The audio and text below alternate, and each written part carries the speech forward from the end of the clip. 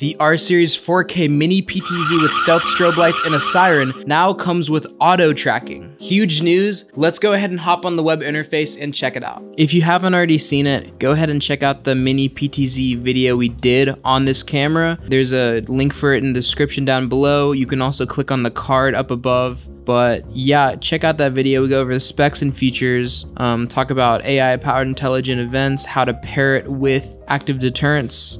It's a pretty cool video. But real quick, what we need to do to get the updated firmware is we'll have to go to Nelly's website, um, look up the R Series 4K Mini PTZ, go ahead and click on it, scroll all the way down to the download section, click on it, and it should be the most recent firmware update available. Go ahead and download that.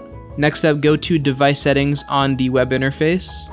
Click on system, maintenance, upgrade. Okay, down where it says path, click on the three dots, go to where the new update is, find the download, click on the .sw file, then press open.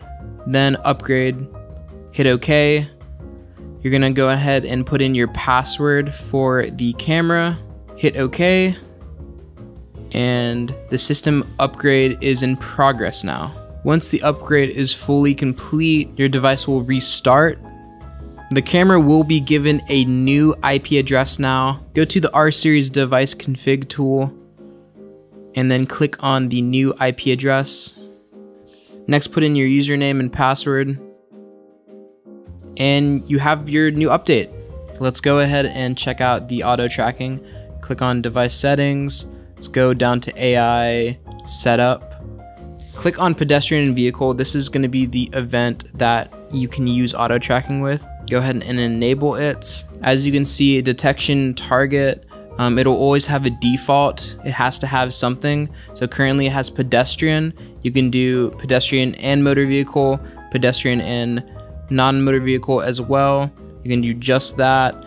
Um, to go ahead and change the default, you would have to click on both of the boxes you want to exclude and then non-motor vehicle will be the new default. You can do that as well for uh, motor vehicle. But we're going to go ahead and just set up pedestrian.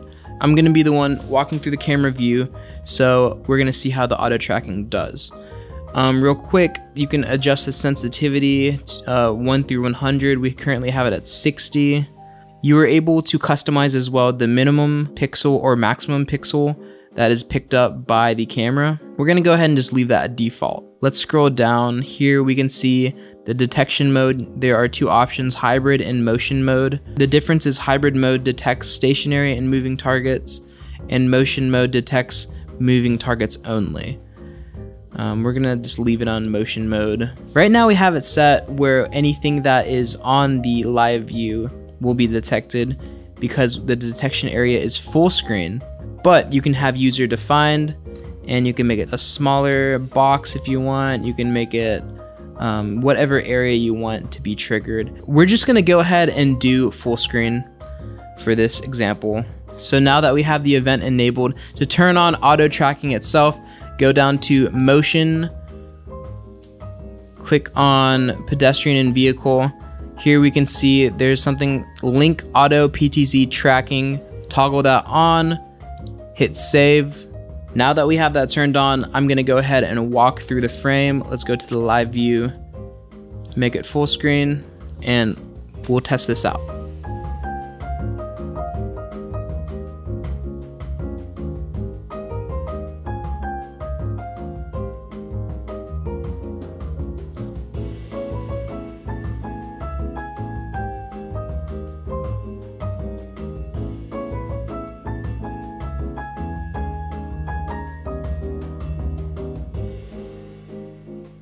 And that's pretty much all there is. Give this video a like if you found it helpful. We'd love to hear from you guys on what you are thinking about this new feature, so go ahead and drop your comments below. Subscribe for more awesome security content. Thank you for watching and we'll see you in the next video.